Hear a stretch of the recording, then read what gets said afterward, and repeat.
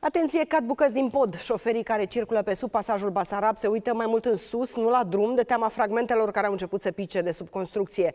Un șofer a surprins momentul în care o bucată din pasaj i-a picat pe mașină în timp ce era în mers. Pericolul nu-i de ieri de azi. Pasajul stă fără recepție de 13 ani, iar constructorul nu vrea să se mai ocupe de reparații.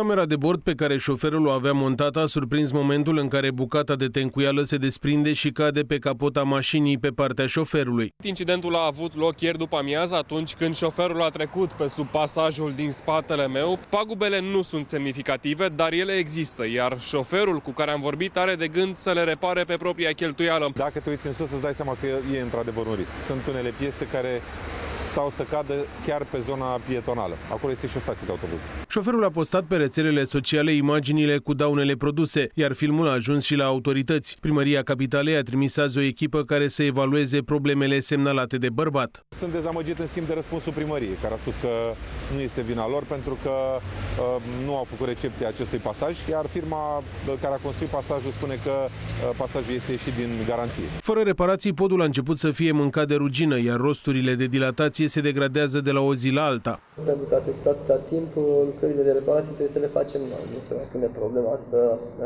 beneficiem de, de garanție. De 13 ani, pasajul Basarab stă fără recepție. Este și motivul pentru care podul nu a fost niciodată reparat. Antreprenorul lucrărilor nu a răspuns solicitărilor repetate de remediere a deficiențelor privind starea tehnică a pasajului. Primăria municipiului București a demarat procedura de atribuire a serviciilor de proiectare pentru lucrările de remediere, urmând ca municipiul București să solicite recuperarea prejudiciului de la antreprenor. Șantierul de reparații la podul Basarab va începe abia când se vor încheia lucrările de la podul Grand, adică în 2025. 5. Anul trecut, primăria capitalei a început expertiza tehnică a pasajului, în urma căreia a fost încadrat în clasa 3 din 5 de risc. În fiecare zi, podul Basarab este traversat de 50.000 de mașini.